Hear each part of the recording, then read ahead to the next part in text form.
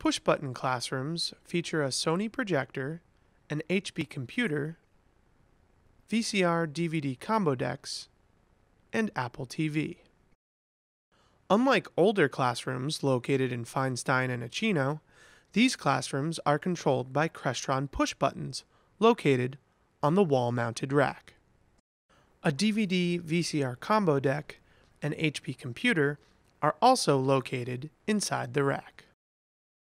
The computer is paired with a wireless keyboard and trackpad that can be used throughout the room. On top of the rack, there is an Ethernet cable and VGA cable. Just below the VGA connection is an HDMI input. The screen is a manual pull-down projection screen.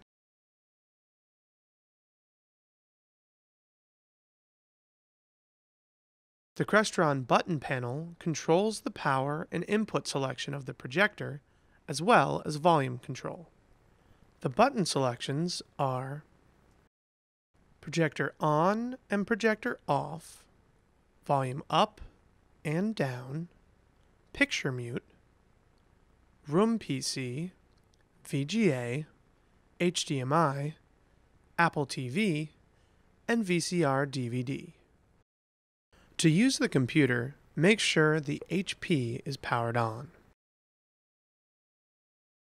Now press the On button, which will turn the projector on.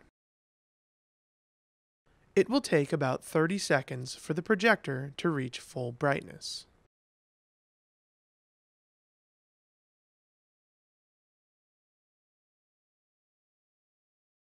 The system will display the Room PC input by default lighting up the PC button.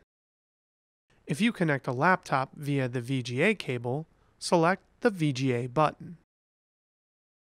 Likewise, if you connect a device via HDMI, press the HDMI button.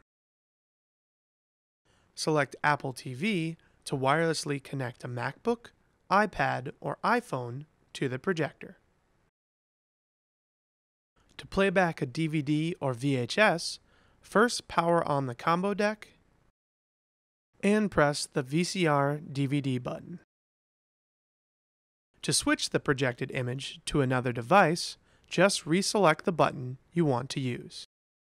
To control the volume of any device, press the volume up button or the volume down button.